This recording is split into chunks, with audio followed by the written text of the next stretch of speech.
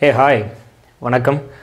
So நம்ம Thirukkural school புத்தகத்தில் இருக்க திருக்குறள் ஆரம்பிப்புலேருந்து டென்த் வரைக்கும் இருக்க குறள் எல்லாம் பார்த்துட்டு வந்துட்டுருக்கோம் ஸோ அந்த விதத்தில் இன்றைக்கி நம்ம பார்க்க போகிறது என்ன அப்படின்னா டென்த்து புத்தகத்தில் இருக்க பார்ட் ஃபோர் திருக்குறள். ஏன்னா எல்லாத்துலேயுமே பார்ட் த்ரீ வரைக்கும் பார்த்துருந்தோம். டென்த்து புக்கில் இன்னும் கொஞ்சம் அதிகமாக இருக்குது அதனால் பார்ட் ஃபோர் வரைக்கும் போகிறோம் அப்படி சொல்லியிருந்தோம். இதுதான் லாஸ்ட் பார்ட் ஸோ தட் இது வரைக்கும் படிச்சிட்டிங்க அப்படின்ட்டுனா டென்த்து புக்கில் இருக்க எல்லா குரலுமே நீங்கள் பார்த்துடலாம். ஸோ இப்போ கொஞ்சம் இந்த லைட் செட்டிங்லாம் கம்மியாக இருக்கும். உங்களுக்கு வந்துட்டு அந்த விசிபிலிட்டி கொஞ்சம் கம்மியாக இருக்கும் அப்படிங்கிறது புரியுது. என்னென்னா இப்போ நம்ம வந்துட்டு ஒரு வேலை செய்யணும் அப்படின்னு முடிவு பண்ணி அந்த செட்டப் எல்லாம் பண்ணுறோம் அதுக்கப்புறம் இன்றைக்கி இருக்கக்கூடிய இந்த வெதர் மழை பெய்யுது இல்லைங்களா? இந்த காரணத்தினால வந்துட்டு பவர் கட் அந்த மாதிரி எல்லாம் ஆகிடுது ஸோ இருந்தாலும் கூட இது வந்துட்டு கிட்டத்தட்ட ஒரு ஒரு மனதிற்பம் மாதிரி தான். விடு கண்டிப்பாக பண்ணணும் அப்படிங்கிற ஒரு விஷயத்துக்காக பண்ணுறது தான் ஸோ அதனால கொஞ்சம் அந்த லைட் செட்டிங் பொறுத்துக்கணும் அப்படிங்கிறது ஒரு வேண்டுகோள். ஸோ இதில் நம்ம முதல் அதிகாரம் அதை என்ன பார்க்க போகிறோம் அப்படின்ட்டுனா நன்றியில் செல்வம் அப்படிங்கும்போது சரியான வழியில் வராத ஒரு பணம் அதை பற்றி தான் சொல்கிறாங்க அதில் மொதல் விஷயம் என்ன அப்படின்னு மொதல் குரல் என்ன அப்படின்னா கொடுப்பதுவும் துய்ப்பதுவும் இல்லாருக்கு அடுக்கிய கோடி உண்டாயினும் இல்லை அப்படின்ட்டு. அப்படின்னா கொடுப்பதுவும் அப்படிங்கும்போது தங்கிட்ட நிறைய பணம் இருக்கு அடுக்கிய கோடி நிறைய கோடிகளில் பணம் இருக்கு. அதை யாருக்கும் கொடுக்கறதும் இல்லை துய்ப்பதும் இல்லை அப்படிங்கும்போது தானும் பயன்படுத்திக்கிறது இல்லை. அப்போ வேறவங்களுக்கும் கொடுக்கறது இல்லை தானும் பயன்படுத்திக்கிறது இல்லை அப்படின்னா அந்த பணம் இருந்து என்ன பயன் அப்படின்னு சொல்லப்படுது. அதுக்கடுத்ததுல இரண்டாவது குரல் இரண்டாவது குலத்தில் நச்சப்படாதவன் செல்வம் நடுவூருள் நஞ்சு நச்சு மரம் பழுத்தற்று அப்படின்ட்டு. அப்படிங்கும்போது மற்றவங்களுக்கு கொடுக்காத வச்சிருக்கவனோட செல்வம். பிறருக்கு உதவி பண்ணாதவனோட செல்வம். நடு ஊருக்குள்ள ஒரு விஷ செடி வந்துட்டு பழுத்து நல்ல சிறப்பாக இருந்தது அப்படின்ட்டுனா அது நல்ல பழுத்து இருக்கு நிறைய வந்துட்டு நல்ல வளர்ந்து செழிப்பாக இருக்குனாலும் கூட அது விஷச்செடி ஆயிடுச்சுல்ல. அதனால அதுலேருந்து அந்த பழங்களை நம்ம பறித்து உணவாக எடுத்துக்க முடியாது. அப்போ அது பழுத்திருந்தும் பயன் இல்லை அப்படிங்கிறதான் மேபி நம்ம முயற்சிக்கு கொஞ்சம் சப்போர்ட் கிடைக்குது. பவர் வந்திருக்கு. நன்றி. இப்போ என்ன அப்படின்ட்டுனா நச்சப்படாதவன் செல்வம் நடுவூருள் நச்சு மரம் பழுத்தற்று அப்படிங்கும்போது நடுவூரில் ஒரு நஞ்சு மரம் பழுத்து இருந்தாலும் கூட அந்த அந்த செல் அதை நம்ம எடுத்து பயன்படுத்த முடியாது. அது போல் வந்துட்டு ஒரு கொடுத்து உதவாதவன் வறியவருக்கு கொடுக்கணும்னு நினைக்கிற அந்த எண்ணம் இல்லாதவனோட இடத்துல நிறைய செல்வம் இருந்தும் பயன் இல்லை அப்படின்னு சொல்லப்பட்டிருக்கு. ஸோ இப்போ இதை பொறுத்த வரைக்கும் என்ன அப்படின்ட்டுனா இதில் ஒரு ஸ்டேட்மெண்ட் இருக்குது என்னென்னு வச்சுக்கோங்களேன் இப்போ ஒருத்தனுக்கு வந்துட்டு வறுமை வருது அதனால் வந்துட்டு கவலை வருது அப்படின்னா அந்த வறுமை வந்துட்டு வேற யாரோ தனக்கு கொடுத்ததான் நினைக்கிறான். மேபி அதை கடவுள்னு கூட எடுத்துக்கலாம்னு வைங்க. கடவுள் வந்து ஏன் என்னை இவ்வளோ கஷ்டப்படுத்துறாரு இவ்வளோ வறுமை கொடுக்குறாரு எனக்கு இவ்வளோ இவ்வளோ சோகத்தை கொடுக்குறாரு அந்த மாதிரி வந்துட்டு வேற ஒருத்தங்க மேலே பழி சுமக்கிறான். அதே தங்கிட்ட அதிக செல்வம் வந்துருச்சுன்னு வைங்களேன் அதை தான் உழைச்சி சம்பாரிச்சதான் நினைக்கிறான் அப்படிங்கிற ஒரு ஸ்டேட்மெண்ட் உண்டு. அப்போ செல்வம் வரும்போது நம்ம சம்பாரிச்சுதான் நினைக்கிறோம் வறுமை வரும்போது மற்றவங்க நம்ம கொடுத்துட்டா தான் நினைக்கிறோம். இந்த எண்ண வேறுபாடு தான் என்ன பண்ணுதுன்னா நம்ம சம்பாரிச்ச பணத்தை மற்றவங்களுக்கு கொடுக்கணுமா அப்படிங்கிற எண்ணத்தை நமக்குள்ளே தோற்றுவிக்குது அப்படின்னு சொல்லப்படுது. பட் ஓகே என்ன இருந்தாலும் கூட மற்றவங்களுக்கு கொடுக்கணும் அப்படிங்கிற எண்ணம் ஒருத்தன்ட்ட இல்லைன்னா நடு ஊருக்குள்ள ஒரு நஞ்சு மரம் பழுத்ததுக்கு செ- சமம் அவன்றிருக்க இருக்க செல்வம் அப்படிங்கிறது தான். ஸோ அதுக்கு அடுத்ததுல குடி செயல் வகை குடி செயல் வகை அப்படிங்கும்போது ஆள்வினையும் ஆன்ற அறிவும் என இரண்டின் நீள்வினையால் நீளும் குடி. இப்போ ஆள்வினை அப்படின்னே நம்ம ஒரு அதிகாரம் பார்த்துருப்போம். ஒரு நல்ல முயற்சி நல்ல ஒரு ஒரு ஒரு அறிவு அப்படி எடுத்துக்கலாம். முயற்சி அப்படிங்கிறது சரியான பொருளாக இருக்கும். அப்போ முயற்சி இருக்கணும் ஆன்ற அறிவு. அப்படிங்கும்போது ஒரு நூல்களை கற்று தெரிந்து தெளிந்துக்கக்கூடிய தெரிஞ்சுக்கக்கூடிய அந்த அறிவு இருக்கணும். அப்போ முயற்சி அறிவு. இந்த ரெண்டும் இருந்ததுன்னா அவனோட குடிப்பெருமை நீளும் அப்படின்னு சொல்லியிருக்காரு. அது தன்னோட குடும்பத்தின் அந்த பெயர் அப்படி கூட எடுத்துக்கலாம். ஸோ அப்போ அந்த பெருமையை உலகறிய செய்யணும் அப்படின்னா நமக்கு ரெண்டே விஷயம் தான் தேவை. ஒன்று விடாமுயற்சி ஆழ்வினை நல்ல அறிவு. இந்த விடாமுயற்சி அப்புறம் நல்ல அறிவு ஆன்ற அறிவு. இது ரெண்டும் இருந்ததுனாவே போதும் குடிப்பெருமை உலகறிய செய்யலாம் அப்படிங்கிறதா. ஸோ அதுக்கு அடுத்ததுல குற்றம் இலானாய் குடி செய்து வாழ்வானை சுற்றாம சுற்றும் உலகு அப்படிங்கும்போது தன்னை சுத்தி எந்த குற்றமும் வந்துடக்கூடாது அப்படின்னு கவனமா பார்த்து வாழக்கூடிய ஒருத்தனை சுற்றாம சுற்றும் உலகு அப்படிங்கும்போது உலகு அப்படிங்கிறத இடத்துல யாரை குறிக்கிறாங்கன்னா மக்கள். இப்போ உலகத்தில் உள்ள மக்கள் எல்லாருமே அவனை தன்னோட சொந்தம் அப்படின்னு கொண்டாட விரும்புவாங்க அப்படின்னு சொல்றாங்க. அப்படின்னா ஒரு சூழல் வருது ஒரு கடினமான ஒரு சூழல் வருது. அந்த இடத்துல அவன் தவறான செயல்களை செஞ்சு செஞ்சு குற்றத்தை தன் பக்கம் சேர்த்திக்காம அந்த இடத்துல எல்லாம் அறத்தின் வழி நின்று தவறான செயலை செய்யாமலே அவன் வந்துட்டு காத்து வாழ்றான். தன் பக்கம் குற்றம் வராம சரியா வாழ்றான் அப்படிங்கும்போது அந்த மாதிரி ஒருத்தனை தன்னோட சொந்தம் அப்படின்னு மொத்த உலகமுமே சொல்லிக்க ஆசைப்படுவோம் அப்படின்னு சொல்றாங்க. இடி இடிக்குது. பட் ஓகே இருந்தாலும் கூட வந்துட்டு நம்ம எந்த இடத்துல எலக்ட்ரிக்கல் எக்யூப்மெண்ட்டோட கனெக்டடாக இல்லை. எல்லாம் தனித்தனியாக இண்டிவிஜுவலாக தான் இருக்குது மேபி இந்த மைக் இதெல்லாம் கூட பேட்டரியில் தான் செயல்படுது. நம்ம வந்துட்டு முயற்சி செய்கிறோம் தான். சூழல் நம்ம கை கொடுக்கல அப்படின்னாலும் கூட அந்த சமயத்திலே முயற்சி செய்கிறோம் ஆனால் அதே சமயத்தில் சரியாக செய்யணும் அப்படிங்கிற ஒரு விஷயம் இருக்குது என்னன்னா நான் வந்துட்டு விடாமுயற்சி செய்கிறேன் அப்படிங்கிற பேரில் நம்ம இடி இடிக்கும் போது எலக்ட்ரிக்கல் டிவைசஸோட கனெக்டடாக இருக்கிறது மிகப்பெரிய தவறாக போய் முடியும். ஸோ நம்ம அந்த மாதிரி கனெக்டடாக இல்லை. அது மாதிரி இல்லாமல் சேஃபாக தான் நம்ம இந்த வீடியோவை பண்ணுறோம் அது தெரிவிக்கணும்னு தோணுச்சு. அதனால.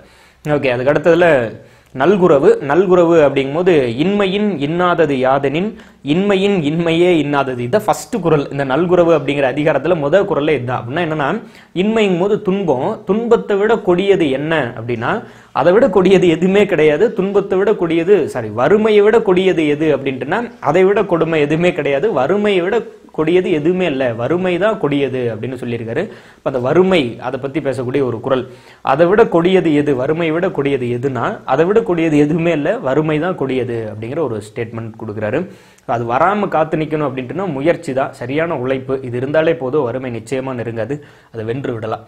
அதுக்கு அடுத்ததுல இரவு இதில் வந்துட்டு என்ன சொல்கிறாங்க அப்படின்ட்டுனா கரப்பிடும்பை இல்லாரை காணின் நிறப்பிடும்பை எல்லாம் ஒருங்க கெடும். அப்படின்னா தன்னோட மனதுக்குள்ளே இருக்கவற்றை தெளிவாக வெளியே சொல்லக்கூடிய ஒருத்தன் இருக்கான் அப்படின்ட்டுனா நிறப்பெடுமை அப்படிங்கும்போது வறுமையால் வரக்கூடிய துயரம் எல்லாம் அவனை நெருங்காம போயிடும் அப்படின்னு சொல்றாரு. அப்ப தன் மனதில் இருக்கிறத தெளிவா உரைக்கக்கூடிய ஒருவன்ட்ட வறுமையால் வரக்கூடிய துயரம் எல்லாம் வராமல் போகும் அப்படின்னு சொல்லப்படுது.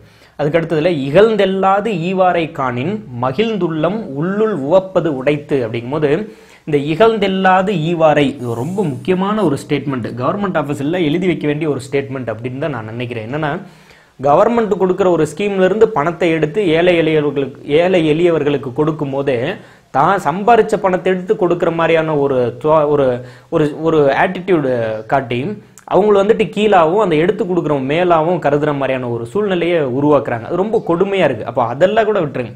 இகழ்ந்தெல்லாது ஈவரை அப்படின்னு தான் சம்பாரிச்ச பணத்தை எடுத்து கொடுக்கும்போது அவங்கள இகழ்ந்து தள்ளாமல் கேவலப்படுத்தி பேசாம அவங்களோட அந்த வறுமையை கிண்டல் செய்யாம ஈவாரை கண்டால் எந்த ஒரு ஒரு முகத்தையும் சுளிக்காம அந்த மாதிரியான ஒரு ஒரு ஆட்டிடியூட் காட்டாம எடுத்து கொடுக்குற ஒருத்தனை கண்டா அந்த மாதிரி ஒருத்தர் இருந்தானா மகிழ்ந்துள்ளும் உள்ளுள் ஒப்பது இடைத்து அப்படிங்கும்போது அந்த வாங்கக்கூடியவனோட உள்ளம் மகிழும் அப்படின்னு சொல்றாரு. இது எப்படின்னு வச்சுக்கோங்களேன் நிறைய நிறைய படங்கள்ல கூட இந்த மாதிரி கொடுக்கப்பட்டிருக்கு. என்னன்னா நமக்கு வந்துட்டு ஒரு கடினமான சூழல் சூழ்நிலை அப்படிங்கிறதுனால ஒருத்தன்ட்ட போய் நீங்க நூறு ரூபாய் கடை வாங்குனீங்க அப்படின்னாலும் கூட அவங்களுக்கு வாழ்க்கையவே கொடுக்குற மாதிரி நினைச்சு அந்த நூறு ரூபாய் எடு. நான் தான் இவனை காப்பாத்தினேன் அப்படிங்கிற மாதிரியான ஒரு மன ஒரு மன தோற்றத்தில் அந்த செயலை நமக்கு செய்கிறாங்க அப்போ உதவி செய்யும் போது இப்படி செய்கிறாங்க அப்படின்னா அதை வந்துட்டு மேலும் நம்ம வாங்குறதுக்கு நம்ம மனதை ஏற்காது இல்லையா? அது மாதிரியான ஒரு சூழ்நிலையை தான் விளக்கி சொல்கிறாரு அப்போ ஒருத்தன் அந்த மாதிரி இகழ்ச்சி செய்யாமல் கொடுக்குறான் அப்படின்ட்டுனா அவனை கண்டு மகிழ்வாங்க அப்படின்னு சொல்லப்படுது. இவன் நமக்கு தெரிஞ்ச வரைக்கும் நம்ம படித்த புத்தகம் நமக்கு தெரிஞ்சிட்ட சுற்றத்தில் நம்ம கவனிச்சிட்ட வரைக்கும் ஒரு விஷயம் புரியுது. என்ன அப்படின்ட்டுனா ஒருத்தனோட வறுமைக்கும் அவனோட அந்த பெருமைக்கும் புகழுக்கு செல்வத்துக்கு எந்த ஒரு விஷயத்துக்குமே கூட மற்ற ஏதோ ஒரு விஷயம் காரணமாக இருக்குது நமக்கு புரியாத வேற ஏதோ ஒரு விஷயம் அதை ஊழ் விதி அப்படின்னு சொல்லிட முடியாது அல்லது வேற ஏதோ ஒரு அவனோட சோம்பேறித்தனம் அப்படின்னு சொல்லிட முடியாது. வேற ஏதோ ஒரு விஷயம் காரணமாக இருக்குது அதெல்லாம் நமக்கு நமக்கு புரியாத ஒரு மிகப்பெரிய சயின்ஸாக இருக்குது அப்படின்னு தோணுது. ஸோ அதனால ஒருத்தனோட அந்த வறுமையை சிறுமையை கண்டு நம்ம அதை இகழ்ந்துடவும் கூடாது. ஒருத்தனோட பெருமையை கண்டு புகழ்ந்து பின்னோக்கி சென்றுவிடவும் கூடாது. நம்மளோட சூழல்ல குற்றம் நம்மை நெருங்காமல் சரியாக காத்து வாழ வேண்டும் அப்படிங்கிறது ஒரு ஒரு கருத்து. ஓகே வாட்டவர் அதுக்கடுத்ததில் அதுக்கு கயமை. கயமை அப்படிங்கும்போது மக்களே போல்வர் கயவர் அவர் அண்ண ஒப்பாரியாங் கண்டது இல்லை அப்படிங்கும்போது மக்கள் எப்படி இருக்காங்களோ மனிதர்கள் எப்படி இருக்காங்களோ அது போலத்தான் கயவர்களும் இருப்பாங்க. இது மாதிரியான ஒரு ஒப்பீடு நான் எங்கேயுமே கண்டதில்லை அப்படின்னு சொல்றாரு. இந்த ஒப்பீடு இங்கே மட்டும்தான் இருக்கு அப்படின்னு சொல்றாரு. என்னன்னா இப்போ திருவள்ளுவரோட அந்த க- எழுது எழுது முறையில் ஒரு ஒரு விஷயம் நம்ம பார்த்துருப்போம். என்னன்னா எந்த ஒரு விஷயத்தையும் எடுத்துக்காட்டோட பொருத்தி பொருத்தி சொல்வார் இப்போ நம்மளோட கையில இருந்து பணத்தை வச்சு இன்வெஸ்ட் பண்ணி ஒரு தொழில் செய்கிறீங்க ஒரு வேலையை செய்கிறீங்க அப்படின்ட்டுனா குன்றின் மீது ஏறி நின்று யானை போர் காண்ற மாதிரியான ஒரு செயலுக்கு சமம் அப்படின்னு எல்லா விஷயத்தையுமே ஒரு எடுத்துக்காட்டோட பொறுத்துறாரு ஆனால் இந்த விஷயத்தை எந்த எடுத்துக்காட்டோடையுமே என்னால் பொருத்த முடியல. அந்த மாதிரியான ஒரு செயலாக இருக்குது அப்படின்னு சொல்கிறாரு என்னன்னா மனிதர்கள் போலவே தான் கயவர்கள் இருக்காங்க. இதற்கு ஒப்பீடு வேற எங்கேயுமே கிடையாது அப்படின்னு சொல்லப்படுது. ஸோ அதுக்கு தேவரணையர் கயவர் அவரும் தம் மேவன செய்தொழுகலான் அப்படின்ட்டு. அப்படின்னா இப்போ நல்லவன் கெட்டவன் இவங்க ரெண்டு பேத்துக்குள்ள வித்தியாசம் மாதிரி தான் இவன் நல்லது செய்யணும்னு விருப்பப்பட்டு தன்னோட செயல்களை செஞ்சுட்டே இருக்கான். அவன் கெட்டது செய்யணும்னு விருப்பப்பட்டு தன்னோட செயல்களை செஞ்சுட்டே இருக்கான். இப்போ இரண்டு இரண்டு பேரும் ஒரே மாதிரியான ஆட்கள் தான் எந்த வேறுபாடும் இல்லை அப்படின்னு சொல்லப்படுது. அப்போ அவங்கள தான் தேவ தேவர் கயவர் அப்படின்னு பிரிக்கிறாரு. இப்போ இவனுக்கு இவங்களுக்கும் தான் விரும்புறத தன் மனதில் உள்ளதை செய்கிறாங்க அது மாதிரியான ஒரு திட்பம் இருக்கு. அவங்களும் தான் விரும்புறத தன் மனதில் உள்ளதை செய்கிறாங்க அது மாதிரியான ஒரு திட்பம் இருக்கு. ரெண்டு பேரும் ஒரே மாதிரியான ஆட்கள் தான் அப்படின்னு சொல்றாரு. ஸோ இரண்டாவது அதுக்கடுத்து மூணாவது குரல்ல சொல்ல பயன்படுபவர் சான்றோர் கரும்பு போல் கொல்ல பயன்படும் கீழ் அப்படின்னா இது எப்படின்னு வச்சுக்கோங்களேன் தன்னோட அந்த வறுமை நிலையை தன்னிட்டு இருக்க அந்த ஒரு கஷ்டம் அப்படி சொல்ற தன்னோட சூழ்நிலையினால் ஏற்படக்கூடிய அந்த துயரத்தை சொல்லும் போதே உதவி செஞ்சிருவாங்க சான்றோர். அதே கீழோர் அப்படிங்கும்போது அந்த சான்றோர் அந்த தன்மை இல்லாதவர்கள் என்ன பண்ணுவாங்கன்னா கரும்பு போல வருத்தினா தான் தங்கிட்ட இருக்க அந்த பொருளையோ அல்லது தன்னால் முடிஞ்ச அந்த உதவியோ செய்வாங்க அப்படின்னு சொல்கிறாங்க என்னென்னா கரும்பை நம்ம வந்துட்டு சக்கையாக போட்டு புழிஞ்சாதான் அதுக்குள்ளே இருக்க அந்த சாறு வெளி வரும். அது மாதிரி ஸோ கரும்பு போல் வருத்த அது மாதிரி அவங்கள வருத்தினா தான் அவங்களால என்ன செய்ய முடியுமோ அந்த விஷயத்தை செய்வாங்க. அதுவே சான்றோர் அப்படிங்கும்போது சொல்லும் போதே அந்த சொல் வரும்போதே அவங்களுக்கு வந்துட்டு அந்த உதவி செய்கிற ஒரு குணம் வந்துடும் அப்படின்னு சொல்கிறாரு ஒரு சரியான ஒரு எடுத்துக்காட்டு. என்னென்னா ஒருத்தவங்க சொல்லும் போதே அல்லது சொல்றதுக்கு முன்னாடியே கூட அதை புரிஞ்சுக்கிட்டு உதவி பண்ற அந்த குணங்கிறது ரொம்ப ரொம்ப அதிகமான மக்கள்கிட்ட இருக்கிறது கிடையாது. ரொம்ப ரொம்ப குறைவான மக்கள்கிட்ட தான் இருக்கும். அவங்க நிச்சயமா நம்ம சான்றோர் அப்படின்னு சொல்லலாம். அது அந்த மாதிரியான குணம் இல்லாதவங்க கரும்பு மாதிரி புழிஞ்சா தான் அந்த வேலையை செய்வாங்க அப்படின்னு சொல்லப்படுது. சூப்பரான ஒரு எடுத்துக்காட்டு. கிட்டத்தட்ட ஆறாவது புத்தகத்திலிருந்து பத்தாவது புத்தகம் வரைக்கும் இருக்க தமிழ் புத்தகத்தில் இருக்க திருக்குறள் எல்லாத்தையுமே நம்ம பார்த்துருக்கோம். ஸோ தொடர்ந்து பார்த்துட்டே வருவோம். லெவன்த்து புத்தகம் டுவெல்த்து புத்தகத்தில் இருக்க திருக்குறளும் நம்ம பார்த்துடலாம். ஸோ கீப் சப்போர்ட்டிங் எஸ் என்னென்னா இது நம்ம இந்த காம்படிட்டிவ் எக்ஸாமுக்கு மட்டும்தான் இந்த குரல் தேவை அப்படின்னு ஒதுக்கி வச்சிட முடியாது. நம்ம நிறைய இடத்துல சொல்கிற விஷயம் அதுதான். திரும்ப திரும்ப நம்ம வந்துட்டு திருக்குறள் படிச்சுட்டே இருக்கலாம். நீங்கள் பரீட்சை எழுதுறீங்க காம்படிட்டிவ் எக்ஸாம் படிக்கிறீங்க படிக்கல. அது எல்லாத்தையும் தாண்டி ஸ்கூல் புக்கில் இருக்க திருக்குறள் மட்டுமாவது ஒரு தரம் கேட்டு பார்க்குறது எல்லாருக்குமே பயனுள்ளதாக இருக்கும். அட்லீஸ்ட் என்ன தான் சொல்லியிருக்காரு அப்படின்னு கேட்கலாம். என்னதான் நம்ம ஒரு குரல்ல வந்துட்டு விலக்கி இதுக்கு இதுதான் பொருள் இந்த மாதிரி எல்லாம் சொன்னாலும் கூட அந்த எழுத்துக்களில் படிக்கும்போது அது ஏதோ ஏதோ ஒரு விதத்தில் உங்களோட சூழ்நிலைக்கு ஒரு ஒரு கருத்து சொல்கிற மாதிரி ஒரு டிஃப்ரெண்ட்டான ஒரு ஆங்கிளில் நமக்கு புரியும். அது இந்த திருக்குறள் நீங்கள் படித்து பார்க்கும்போது தெரியும். எவ்வளோ விளக்கம் இது மாதிரியான விளக்கம் அப்படின்னு ஒவ்வொரு திருக்குறளுக்கும் நம்ம சொல்லிக்கிட்டே வந்தாலும் கூட அந்த குரலை படிக்கும்போது ஒவ்வொருத்தருக்கும் ஒவ்வொரு மாதிரியான டிஃப்ரெண்ட்டான ஆங்கிளில் அதோட புரிதல் ஏற்படும். நம்ம நிறைய டைம் இதை சொல்லிட்டோம். இருந்தாலும் கூட ஒரு அரசன் முதல் ஒரு அரசாங்கத்தில் இருக்க ஒரு பெரிய உயர் அதிகாரி முதல் ஒரு அடித்தட்டில் இருக்கக்கூடிய ஒரு பாமரன் வரைக்கும் தன்னோட வாழ்க்கையோட எல்லாருமே பொருத்தி பார்த்துக்கக்கூடிய ஒரு அற்புதமான வார்த்தை கோர்வை இந்த திருக்குறள் இருக்கும். யார் படித்தாலும் அது அவரோட வாழ்க்கைக்கு பொருந்துற மாதிரியான ஒரு ஒரு மருந்தா இது அமையும். அதனால மேக்ஸிமம் இது ஒரு டைமாவது கேட்டு பாருங்க. அந்த குரலையாவது அட்லீஸ்ட் ஒரு டைம் கேட்டு பாருங்க. நீங்கள் முடிஞ்சளவு அதை கேட்குறது நிறைய பயனளிக்கும் அப்படிங்கிறது என்னோட கருத்து. So keep supporting us eleventh Thirukkural பதினோராம் வகுப்பு திருக்குறளில் நம்ம மீண்டும் சந்திப்போம். Keep supporting us thank you